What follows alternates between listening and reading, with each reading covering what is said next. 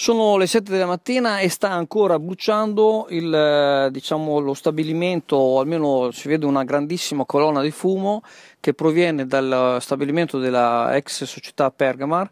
una ditta specializzata nella commercializzazione di prodotti ittici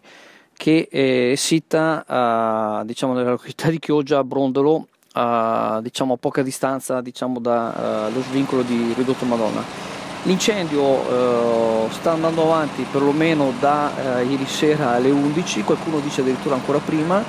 e sono in azione mh, almeno tre squadre di vigili del fuoco, ci sono numerosi mezzi di vigili del fuoco eh, che eh, probabilmente stanno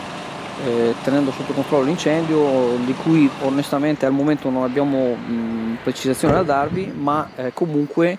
da ieri tutta la zona è praticamente coperta da questa, da questa coltre di fumo eh, che si sente, tantissimi ci hanno avvisato che si sentiva appunto un fortissimo odore di bruciato. Cercheremo di darvi maggiori informazioni in seguito eh, come eh, diciamo, la cosa si, si, si sarà risolta.